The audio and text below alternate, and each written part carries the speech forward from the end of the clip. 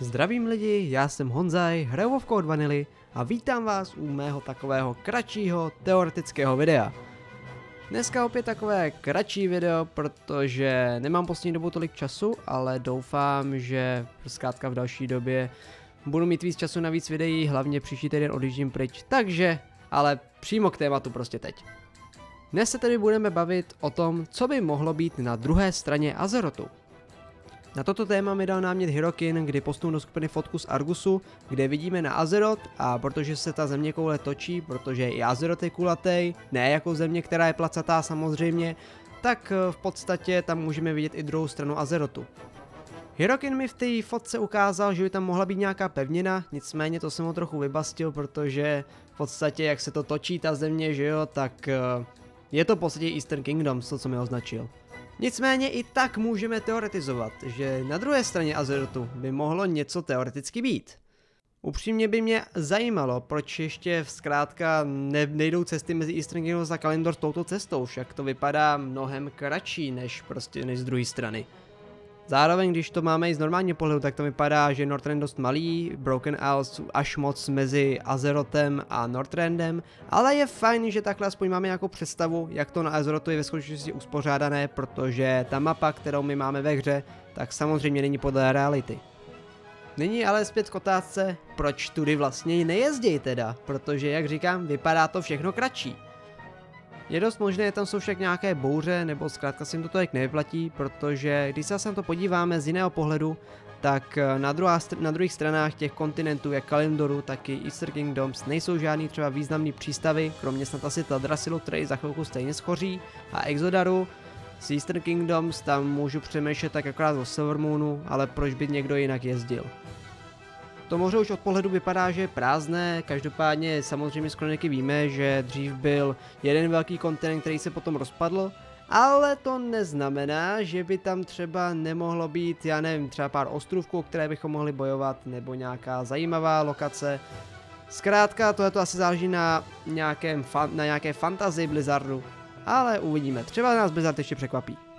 Je dost ale možné, že tam narazíme na Tuskáry, což je bájný kontinent skrytý pod ledovcem, který je plný Tuskarů, samozřejmě.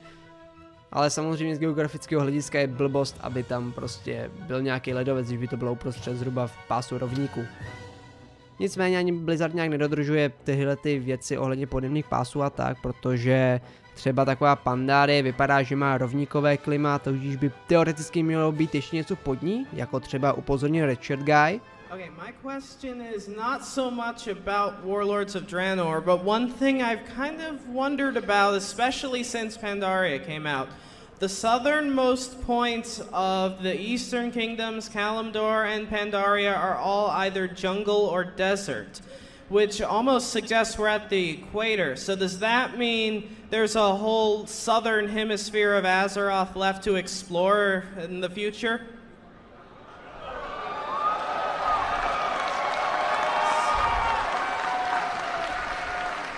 Or maybe the planet is just very steeply angled. Hmm? A, a, lot of the climate of Pandaria is shaped by Azeroth's unique ocean currents, thanks to the Maelstrom, ah. Trade which creates some different Trade weather. Winds. Ah, okay. Yes, uh, yes. One, one day, no. let's just say, what did you say? Yes? Ocean no. currents? We're going to say yes and no at the same time. No, it's a very it's a very astute observation. It's crazy. Actually, we, we actually have argued about this in the studio. And it's uh, boy, we went back and forth because it does look like it's all temperate, you know, kind of down there. Um, so I think it's totally possible that there's more stuff down there. If these guys would quit doing globes with art inside of uh, was it Oldwar? Well, you can't put globes with continents. It's going to look like that's all there is. And you go, no, it's going to look cool. It's going to look awesome. But don't, don't do it. Don't do it because it, it, doesn't look like there could be anything else. Was my argument. It did look cool though. It did look cool. Oh, on the bright side, the there cool. is a good way to work around that. The globe in Ulduar already isn't accurate, so you could just say it's obscured. See? Exactly.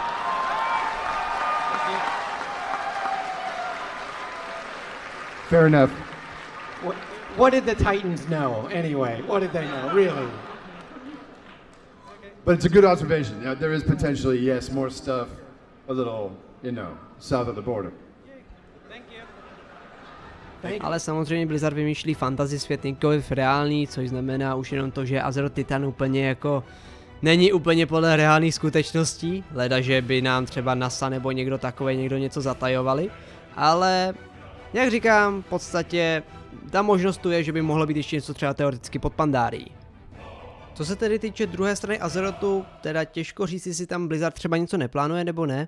Nicméně, stejně jako Pandaria třeba pod mlhou je možné, že tam taky třeba bude něco pod tím ledovcem, nebo pod další mlhou, nebo pod bouřkou, nebo nevím. Ale každopádně Blizzard má zkrátka další prostor, kam může dělat věci. I když takhle vidíme takhle celý kulatý ten Azeroth, tak je dost možné, že tam ještě Blizzard něco bude doplňovat. Dá si dobrý příklad je z Ulduaru takový ten globus, kde bylo jenom vlastně Northrend, Eastern Kingdoms a Kalimdor, potom samozřejmě ještě to bylo bez Pandárie, protože jsme o Pandárii vůbec neviděli, protože to si jen tak samozřejmě podle všech Blizzard jen tak vycucal z prstu.